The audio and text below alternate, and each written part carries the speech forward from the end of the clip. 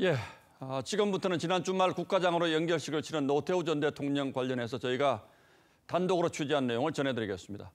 중국 시진핑 주석이 지난주 외교 경로를 통해 우리 정부에 노 전 대통령의 서거를 위로하는 조전을 보냈는데 청와대와 외교부가 시 주석의 조의를 유족에게 전달하지 않은 것으로 확인됐습니다. 아시는 것처럼 노 전 대통령은 80년대 후반 공산권 국가들과의 수교를 하면서 외교적으로 업적을 만들어냈고 시 주석도 조전에서 이런 노 전 대통령의 노력을 평가하며 유족들에게도 위로의 뜻을 전해달라고 요청한 것으로 전해졌는데 우리 정부가 왜 이런 내용을 유족들에게 알리지 않았는지 의아할 수밖에 없습니다. 먼저 권은영 기자가 그동안 어떤 일이 있었던 건지 단독으로 취재한 내용을 보도하겠습니다.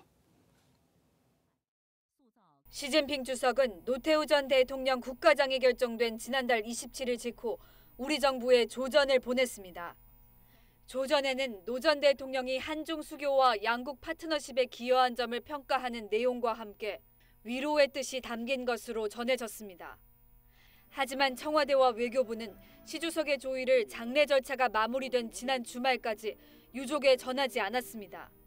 유족 측은 TV조선과의 통화에서 지난주 금요일 싱하이밍 중국 대사의 전화를 받고 나서야 조전이 온 사실을 알게 됐다고 말했습니다. 싱 대사는 조전에 대한 한국 정부와 유족의 반응을 본국에 보고하기 위해 유족에게 두 차례 전화를 한 겁니다.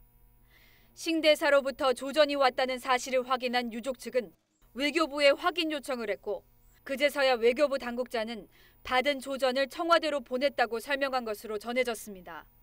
외교부 당국자는 TV조선과의 통화에서 중국 측이 요청하지 않아서 유족에 전하지 않았다고 답했습니다.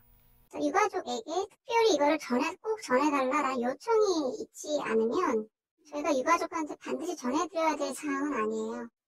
하지만 유족 측이 파악한 조전의 내용에는 유족에게 조의를 전달해달라는 내용이 포함된 것으로 알려졌습니다. 청와대는 TV조선의 사실관계를 확인해주기 어렵다고 답변했습니다. TV조선 권은영입니다.